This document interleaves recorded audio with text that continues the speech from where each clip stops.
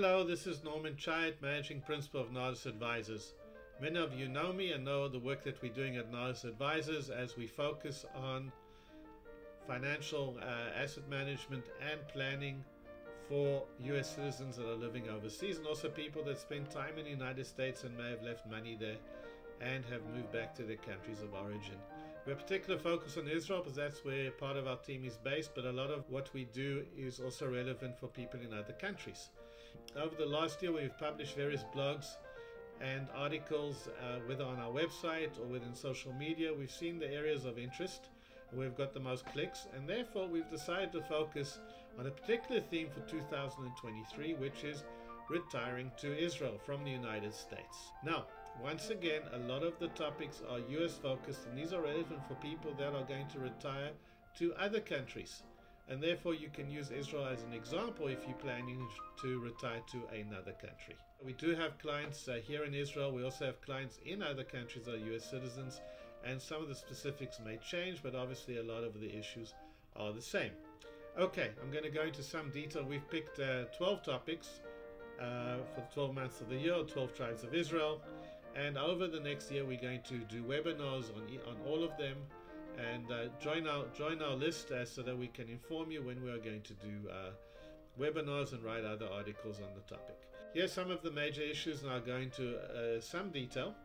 Your Social Security. If you're eligible in the US, you're eligible anywhere, all over the world.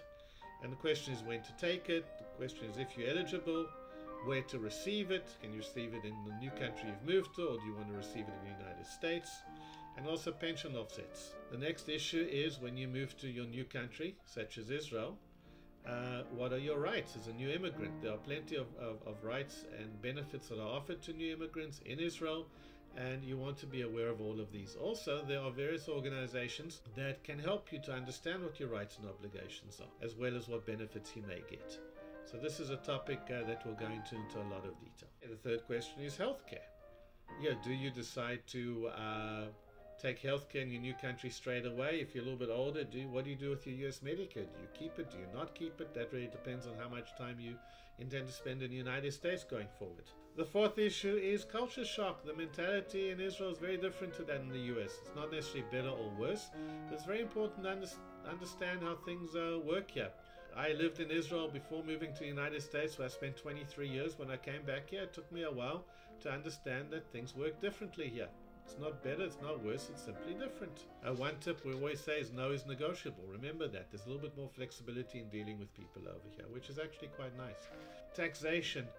This is not complicated provided that you work with good tax professionals. What we see is a lot of people set up Facebook groups or join Facebook groups and try to get free tax advice on the internet.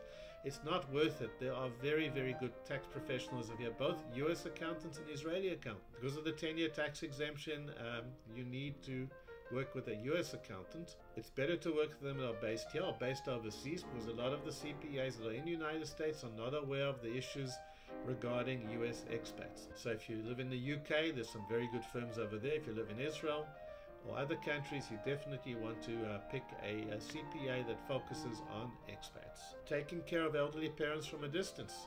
This is a topic we'll go with, we'll deal with in detail. Taking care of unsettled kids from a distance. The monetary aspects over here.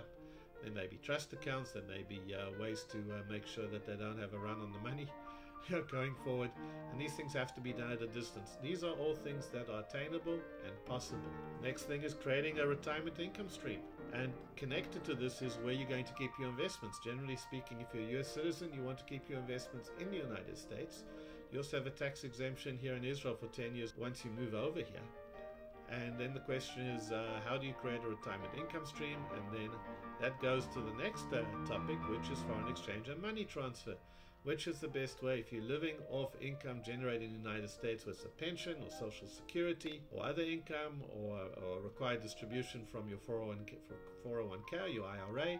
How is it best to get it to Israel? We specialize in some of these issues. And then the last topic is really uh, American citizens that uh, have been uh, here in Israel or, or, another country for many, many years have retired locally are getting local pensions. And what are the uh, implications of this? So, once again, we're going to go into a lot of detail on these topics. Uh, we're going to hold webinars, we're going to bring in experts in various uh, issues.